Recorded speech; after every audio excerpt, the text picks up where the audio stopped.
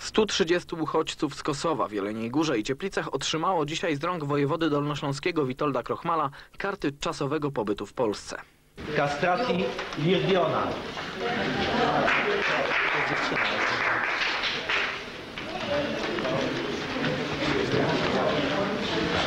Dokumenty, które otrzymali dzisiaj Albańczycy uprawniają ich m.in. do poruszania się po całym kraju, a także do podjęcia pracy. Z tym jednak są problemy.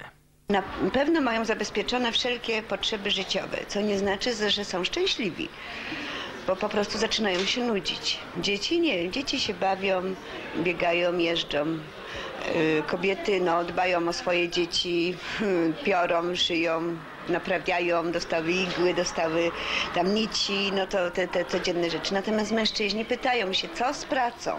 Jak dotąd żaden z uchodźców nie znalazł pracy. Nie ma też odpowiedniego systemu, który mógłby ten problem rozwiązać. Są więc pod tym względem zdani sami na siebie. O problemach z uchodźcami rozmawiał także wojewoda. Zapytany m.in. o możliwość nauki dzieci w wieku szkolnym odpowiedział.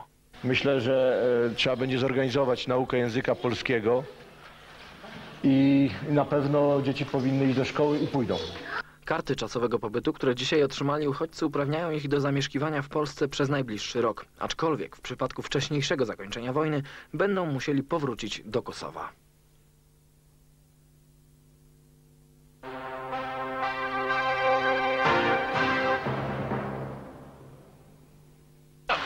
Na mojej własności chcecie mi zabrać z mojej własnej własności, wy? Własnej własności? Na pewno. Proszę nie utrudniać panie Trzciński w wykonywaniu czynności swoich. Uwaga, to Odciągamy. Od razu pomóżcie. No, pomóżcie, no na to czekacie. No halo? Proszę pomóc. Już od razu. Do radiowozu, do radiowozu. Jakim prawem? Pomóżcie, no na to czekacie. Pomóżcie. Panowie kopać. Wyciągam.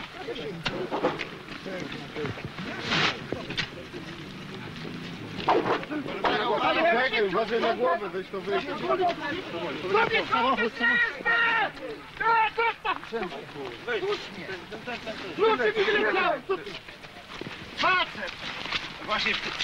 Halo, witam Państwa ponownie.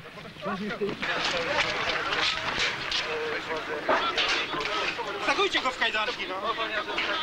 Dawaj kajdanki. Zakuć go do tyłu. Trochę, żeby był zakuty, a nie... Przed y, całym rozwiązaniem poinformował dziennikarzy, że... No, weź, no weź mu tę łapę do tyłu. Proszę zejść. Bardzo proszę zejść z drogi. Proszę zejść z drogi. Proszę zejść z drogi. Tak zakończyła się wczoraj kariera Adolfa Trzcińskiego jako pierwszego prywatnego właściciela drogi. Dwuzłotową opłatę pobierał on od kierowców od godziny 8 aż do 15, czyli momentu interwencji policji. W moim przekonaniu jest to bezprawie, które przypomina mi się lata 80., kiedy mnie tak samo zamykano, ale powiem panu szczerze, że y, jestem tylko bardzo zdziwiony, że decyzję nie wydał prokurator, tylko wydał bardzo wysoki urzędnik Urzędu Miasta. Problemy Trzcińskich z instytucją państwa rozpoczęły się już w 78 roku. Wtedy to bez wywłaszczenia zajęto im 38 arów ziemi na budowę obwodnicy. Również bez wywłaszczenia władza, ale już ta demokratycznie wybrana, wybudowała na ziemi Trzcińskich ujęcia wody i instalację gazowniczą, przywłaszczając sobie łącznie około 9 hektarów. Te wydarzenia działy się w latach 90-92, kiedy Adolf Trzciński był w Stanach Zjednoczonych. Po powrocie z USA rozpoczął walkę o odzyskanie utraconych nieruchomości. Dopiero na początku tego roku wyegzekwował zapłatę od Urzędu Miejskiego w Jeleniej Górze za ziemię z ujęciem wody oraz zakładu gazowniczego za grunty z instalacją. Wcześniej, aby zmusić urząd do poważnego traktowania, zakręcił wodę dla Zabobrza, największego osiedla w Jeleniej Górze. Pozostała więc jeszcze kwestia obwodnicy. Adolf Trzciński, mimo usunięcia go z drogi, zapowiada dalszą walkę. Dalej będę walczył o swoją własność, która nie może być naruszana w normalnym kraju, czyli postanawiam w ciągu dwóch tygodni z powrotem wznowić działalność swoją, którą prowadziłem zgodnie z prawem, zalegalizowaną regonami y, skarbowymi, sprawami, ludźmi, wszystko. Wraca pan po prostu na obwodnicę. Oczywiście wracam na obwodnicę i prowadzę dalej swoją działalność, którą mam zarejestrowaną zgodnie z prawem. Trzciński nie może także zrozumieć, dlaczego bez żadnego wyjaśnienia skonfiskowano mu wczoraj jego własne znaki drogowe i tablice informacyjne. Jak się postępuje teraz, tak się postępowało w latach 80., czyli zabiera się czyjąś własność. Ja zapłaciłem około 40 milionów złotych za swoją własność. Do tej pory nie mam tych rzeczy i nie mam po prostu nawet pokwitowania głupiego, że zostało mi skonfiskowane, skonfiskowana moja własność. Jak powiedział nam Adolf Trzciński, pobyt w Stanach Zjednoczonych nauczył go szacunku do własności prywatnej i dlatego też zapowiada bardzo ostrą walkę, nawet wbrew obowiązującym ustawom, które według niego sankcjonują wypaczenia minionej epoki.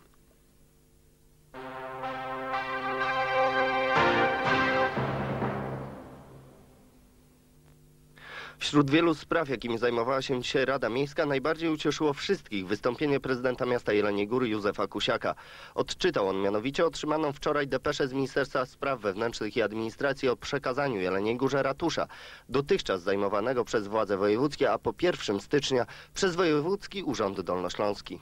Myślę, że nasza wspólna tutaj y, praca, upominanie się w imieniu mieszkańców naszego miasta o y, oddanie tego y, ratusza, tego obiektu w centrum miasta na potrzeby i radnych, i również urzędu naszego miasta zostało, tak powiem, odnieśliśmy sukces. Dziękuję wszystkim za. Radni dyskutowali dzisiaj także m.in. o sprzedaży odremontowanego 14-milionowym nakładem domu handlowego przy ulicy Długiej. Podjęli także decyzję o utworzeniu filii kilku szkół podstawowych, do których uczęszcza niewielka liczba dzieci. Oznacza to w praktyce, iż dwoma szkołami zarządzać będzie jedna dyrekcja.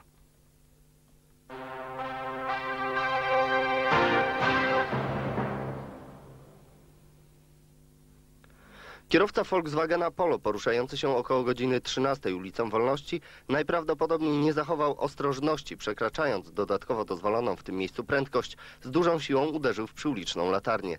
Całe zdarzenie wyglądało na tyle groźnie, iż natychmiast oprócz policji wezwano także straż pożarną. A oto jak kulturalnie młody kierowca zareagował na widok naszej kamery. Wąt! Zajeb zaraz! No graj!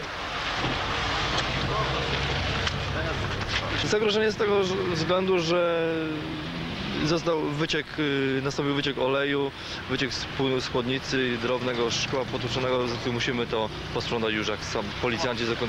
Nie, nie zapalił się. My już w najbliższym czasie postaramy się poinformować Państwa, kto poniesie konsekwencje za ten wypadek, a więc przede wszystkim zapłaci za zniszczoną lampę. Z informacji, które uzyskaliśmy wynika, iż nowa uliczna latarnia kosztuje około 700 zł plus koszty montażu.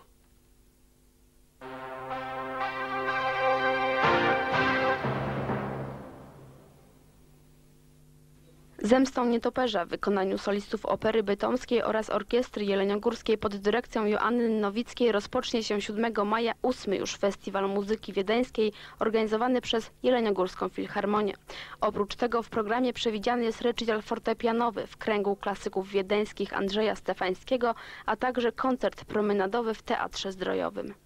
Wykonawcami tego koncertu będzie y, zespół y, kameralny naszej filharmonii i y, a w repertuarze tego zespołu będzie właśnie muzyka wiedeńska, także walce, polki Johanna Straussa, Lannera. Na zakończenie festiwalu 13 maja do Jeleniej Góry przyjedzie orkiestra z Wiednia. Która w tym roku nazywa się ze względu na rocznicę straussowską. y, Orkiestra ta będzie pod nazwą Johann Strauss Ensemble. W repertuarze tego koncertu będzie też muzyka wiedeńska, właśnie taka typowa muzyka Straussa, y, tak jak 100 lat temu w Wiedniu właśnie te orkiestry taką muzykę grywały. Tegoroczną edycję Festiwalu Muzyki Wiedeńskiej, tak jak poprzednio objął austriacki konsulat generalny w Krakowie. Organizatorzy mają nadzieję, że spełnią oczekiwania wszystkich miłośników muzyki klasycznej.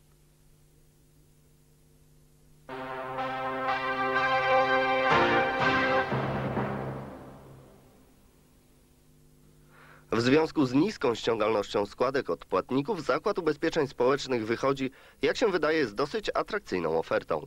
Wszystkie osoby, które zalegają z opłatami w zakresie ubezpieczeń społecznych, mają szansę bezkarnego uregulowania tych należności do ostatniego dnia bieżącego miesiąca.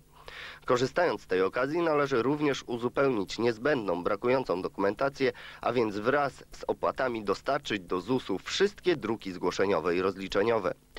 Po upływie tego terminu i niedotrzymaniu zobowiązań czekają niestety dotkliwe sankcje.